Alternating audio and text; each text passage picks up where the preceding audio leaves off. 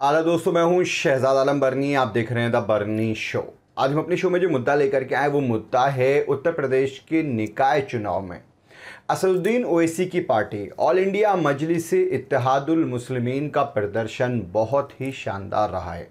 इस बार पहली मर्तबा ऐसा हुआ जब असदुद्दीन ओवैसी की पार्टी ने निकाय चुनाव में चेयरमैन के पदों पर अपनी जीत हासिल कर ली है। और वो भी कोई एक दो नहीं, बल्कि पाँच जगह पर नगर पालिका परिषद के चेयरमैन के तौर पर, ऑल इंडिया मजलिस इतिहादुल मुस्लिमीन के उम्मीदवारों ने जीत हासिल की। इसको लेकर के मजलिस के सदर असदुद्दीन ओवैसी साहब की तरफ़ से मुबारकबाद भी आई है। हम आपको वो भी दिखाएँगे, लेकिन उससे पहले बताते हैं कि कहाँ कहाँ पर मजलिस ने जीत हासिल की है। उसमें सबसे ज़्यादा चर्चाओं में जो सीट रही थी, वो थी संभल की सीट, चूँकि वहाँ पर समाजवादी पार्टी का पुराना गढ़ माना जाता है संभल, लेकिन संभल के अंदर असुद्दीन ओवैसी की पार्टी ने बड़े मार्जिन से चुनाव जीता है। संबिल पर आसिया मुशीर खान, वो जीती हैं चुनाव और बाकायदा समाजवादी पार्टी तीसरे नंबर पर पहुँच गई है। वहाँ पर बाईस हज़ार 406 वोटों से आसिया मुशीर खान ने चुनाव जीता है नगर पालिका परिषद चेयरमैन संबल का। उसके अलावा हाथरस की एक सीट है सिकंदरा राव। सिकंदरा राव में मोहम्मद मुशीर वहाँ पर मजलिस की तरफ़ से चुनाव जीते तो कानपुर के एक नगर पालिका परिषद है। खाटमपुर नगर पालिका परिषद वहाँ पर गजाला तबस्सुम चुनाव जीती हैं। उसी तरह से बरेली में एक सीट पर चुनाव जीते हैं मोहम्मद इरफान अली खां और उसके अलावा मुरादाबाद की कुंदर की जो नगर पालिका परिषद है, उसकी चेयरमैन बनी है जीनत मेहंदी। यानी पाँच जगहें ऐसी हैं जहाँ पर मजलिस ने अपने चेयरमैन बनाए हैं। इसके अलावा ख़ास तौर से मेरठ की सीट काफ़ी चर्चाओं में रही, हालाँकि मजलिस उसको जीत नहीं पाई। पहले नंबर पर बीजेपी रही, दूसरे पे मजलिस और समाजवादी पार्टी का हाल बुरा रहा वहाँ पर। और ऐसे में मुरा, जो मेरठ की सीट है, वहाँ पर एक लाख हज़ार वोट मिले थे मजलिस के कैंडिडेट को और करीब ग्यारह पार्षद मेरठ से अकेले शहर से मजलिस के जीते हैं। इन सभी को बैरिस्टर असुद्दीन ओवैसी साहब ने मुबारकबाद दी है। आइए हम आपको दिखाते हैं कि असुद्दीन ओवैसी साहब क्या कह रहे हैं। मैं उत्तर प्रदेश की आवाम का, उत्तर प्रदेश के हमारे मजलिस इतिहादमसलमिन के सदर जनाब शौकत साहब का और तमाम जनरल सेक्रेटरीज़ का, जॉइंट सेक्रेटरीज का, पार्टी के नेशनल स्पोक्स पर्सन का, ज़िले के सदर का और तमाम पार्टी के अरकान का मैं शुक्रिया अदा करता हूँ कि कल जो उत्तर प्रदेश के मजाली से मुकामी व बल्दियात के इंतबी नतीजे आए या नगर निकाय चुनाव के जो के जो नतीजे आए, वो मजलिस इतिहादमसलमिन के लिए बड़े ही हौसला अफजा रहे हैं। और इसके लिए मैं शुक्र अदा शुक्र अदा करता हूँ अल्लाह सुबहाना ताली का और मंजलिस के तमाम ज़िम्मेदारों का और उत्तर प्रदेश की आवाम का। इससे हमारे हौसले बुलंद होते हैं, बल्कि इससे हमारी ज़िम्मेदारियों में और इजाफा भी होता है।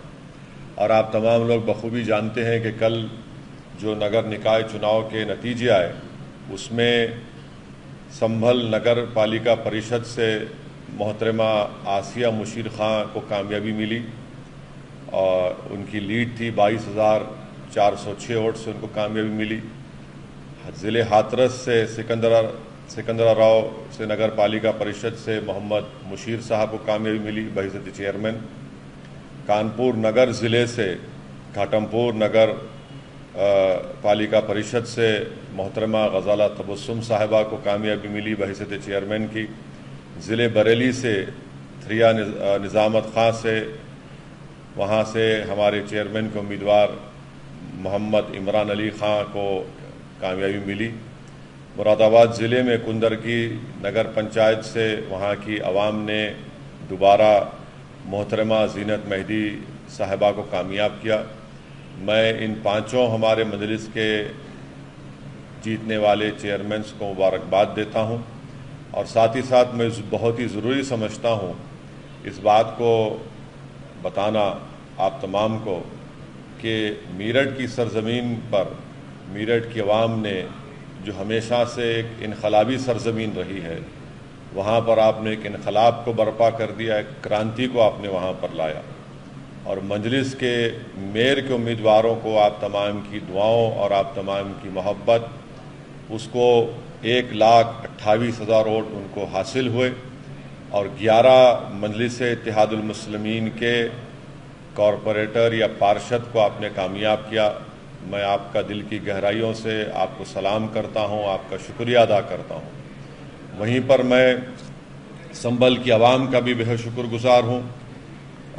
मैं मुबारकबाद देता हूँ मेरे भाई चौधरी मुशीर खां को हमारे संबल के ज़िला सदर असद अब्दुल्ला साहब को, मेरे छोटे भाई हाजी सारिम को और तमाम ज़िम्मेदारों को, जिन्होंने मेहनत की, संबल के कराम को कुंदरकी के तमाम ज़िम्मेदारों को और इन तमाम हाथरस के कानपुर सिकंदर राव के, घाटमपुर नगर पालिका परिषद के, थरिया निजावत खां के, कुंदरकी के हमारे मेहदी साहब को भी उन तमाम को मुबारकबाद देता हूँ कि आपने मेहनत की और जो मजलिस की टीम पिछले कई महीनों से जो जहद कर रही थी, उनकी एक मेहनत का नतीजा रहा। आवाम ने हम पर अतमाद किया, भरोसा किया और साथ ही साथ इस इंतबात में जो नगर निकाय चुनाव के जो इंतबात इलेक्शन हुए, उसमें मंजलिस के अठहत्तर के करीब पार्षद और 20 पार्षद कामयाब हुए 33 नगर पालिका परिषद के काउंसलर कामयाब हुए और 22 नगर पंचायत के काउंसलर कामयाब हुए।